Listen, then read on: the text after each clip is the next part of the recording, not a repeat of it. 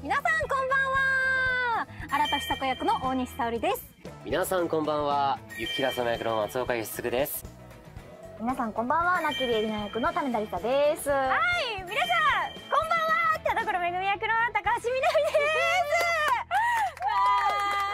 す。これ往々にしてやってみたいわーなぜですか？あのね自分お食事処松岡ってやつやってんだけど、はいはいはい。このお二方は来てくださいました、うん、お客さんとして見ました私も、うん、料理する？お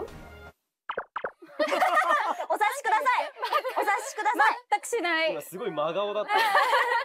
多分直撃したら絶対負けるんで。例えば、うん、あのできる体でやるならお二人は何を作りますか？ああめっちゃ料理できるってこと？料理勝負うん、松岡さんだったら。じゃあ自分これ家でもやったことを言ったやったかな。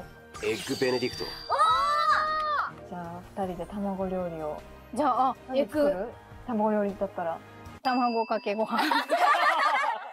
みなみちゃんのあの毎回ねアフレコ始まるたびに、うんうん、あの一人ずつあの一回立って挨拶していくんですよ、ね。はい、挨拶しますね。ですよろしくお願いしますって言って、はい、はい、高見の時だけみんなちょっと笑っちゃう。そうなんかあれなんなんすか？本当に。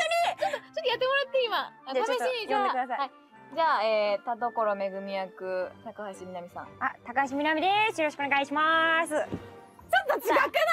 今、ちょっと、しかも、いつもと違う。若干抑えたそうちょっと割と厳かな、静かなね、空気なんですよ、割と。よろしくお願いします。みたいな。そんな中、テンション高いから、ちょっと、あの、ベテランの声優さんとかも。クスってなるっていうね。癒しの人たち。そうだね。私ちゃ私がモノマネできるんじゃないんとできますよ。今ちょっと抑えてるんですよ。高みなちゃん。えー、じゃあ、田所めぐみ役、高橋さん。高橋みなみです。よろしくお願いします。本当皆さんよろしくお願いします。あー、もう、すごい。今、地上波だよ。あああこれさんだよ。